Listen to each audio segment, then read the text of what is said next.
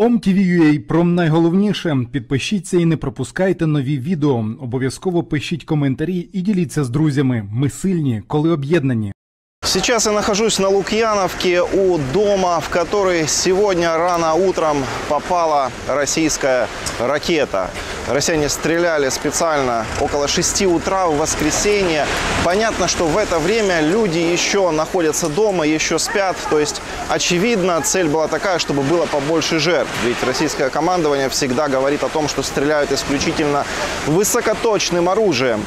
И, в общем-то, раз они так говорят, то это означает, что высокоточное оружие целилось специально конкретно в этот жилой дом, именно в эти квартиры. Есть раненые, есть погибшие. Я не сомневаюсь, что э, в скором времени российское командование скажет, что очередным ударом были уничтожены 100 националистов, 20 байрактаров, 10 химайерсов.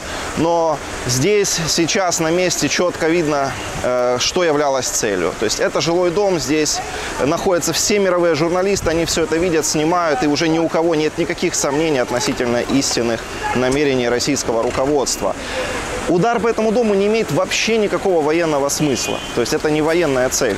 Э, Зачем это было сделано? Ну, очевидно, это просто теракт, просто чтобы запугать э, население. Ну а также месть за украинскую евроинтеграцию. То есть за то, что на днях буквально было принято историческое решение.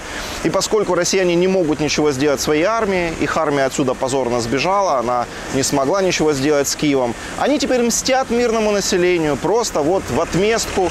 Вчера всю территорию Украины они там 50 ракет выпустили. И вот сегодня с утра они тоже бьют по мирным жителям. Это военное преступление. И об этом сейчас нужно говорить на весь мир. Вот весь мир должен видеть, что сейчас происходит, что цель российской армии – это э, как раз мирные люди. А российское население все это поддерживает. Они клеют букву Z на свои машины в поддержку тех людей, которые бьют ракетами по жилым домам. Уже известно, что одна из пострадавших здесь, в чью квартиру попала российская ракета, это гражданка России. Уже был найден под завалами ее российский паспорт. То есть происходит какой-то полнейший сюрреализм. Руководство России орет про русофобию, про притеснение россиян и само же своими ракетами бомбит граждан России. Це паспорт громадянки Росії, яка жила в цьому будинку. Е, Чоловік, який вбитий Путіним, і донька, якої поранена. Сама вона зараз знаходиться на грані життя та смерті.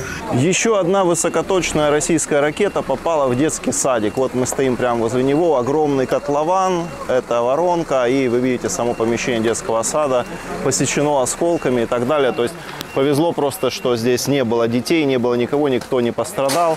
Но это очень красноречивая картина, которая показывает, куда на самом деле наносит своим высокоточным оружием удары Российская Федерация. Істерика Росія здійснила понад півсотні ударів по території України у ніч проти суботи. Під вогнем низка областей. А для обстрілу чи не вперше використаний повітряний простір Білорусі, щоб не дати нашій ППО можливість збити ворожі літаки. Про що сьогодні домовлявся Лукашенко із Путіним У Росії? Чому в Міноборони гостро критикують активність змі довкола операції в Сєвєродонецьку? І що головнокомандувач говорить про хаймерси, які вже палять ворога на передовій. Дивіться хроніку подій 122-го дня повномасштабної війни у матеріалі Олексія Пасака. Масштабна провокація. На ранок ворог здійснив понад півсотні ракетних пусків по території України. Цілив по Хмельниччині, Чернігівщині, Житомирщині та Львівщині. Над Київською областю спрацювала ППО. Прильоти також зафіксували у Миколаєві, Харкові та на Дніпропетровщині. Під час повітряної тривоги нашому ППО було збито дві ракети. Недобрий ранок на Чернігівщині. Масований ракетний удар. Більшість ракет випущено з території Республіки Білорусь. Об'єкт військовий на території Яврівського району. Четверо постраждавших, один середньої важкості, троє легкої важкості, госпіталізовано. Було 24 ракети запущено по е, військовим частинам і по об'єктам навколо Житомира. Білорусь так само приймає участь в війні, е, як і Російська Федерація.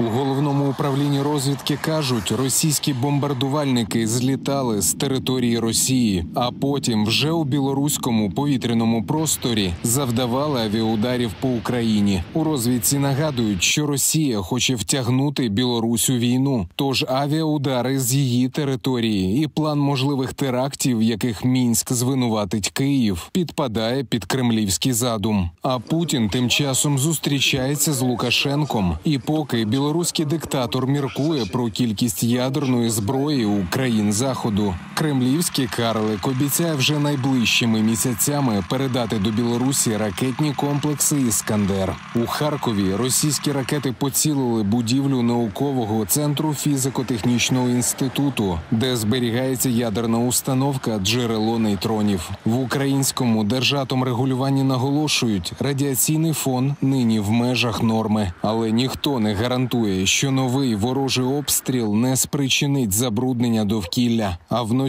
загарбники поцілили центр міста. Під ударом знову винятково цивільна інфраструктура. Живу в центре, в самом центре Харькова. Сегодня ночью был ракетный удар по офисному центру, вокруг жилые дома. Ну, Больше добавить нечего.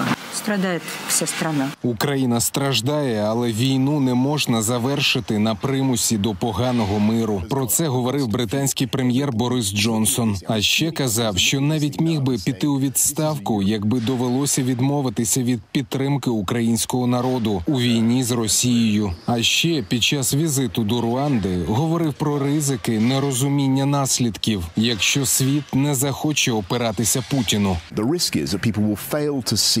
Ризик полягає в тому, що люди можуть не зрозуміти, що важливо протистояти агресії, якщо Путін, і це те, про що я сьогодні говорю перед усіма країнами, тому що всі вони це справді знають і справді згодні з цим.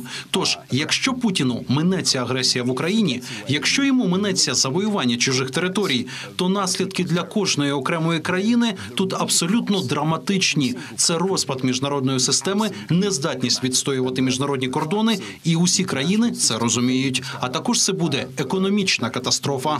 Катастрофа буде, якщо збройним силам не дадуть зробити все заплановане. Заступниця міністра оборони Ганна Маляр розкритикувала публічне обговорення щодо виходів чи взяття певних населених пунктів. Наголосила, що заяви змі ще до інформації генштабу завадили завершити всі операції в Сєвєродонецьку. Місто нині у тимчасовій окупації, і поки ворог під вогнем намагається закріпитися в населених пунктах Луганщини, його запекло б'ють на інших напрямках. Підпишіться на канал і не пропускайте нові відео. Пишіть коментарі і діліться з друзями. Ми також будемо вдячні за підтримку нашої роботи на Patreon або інших зручних платформах. Реквізити в описі до відео.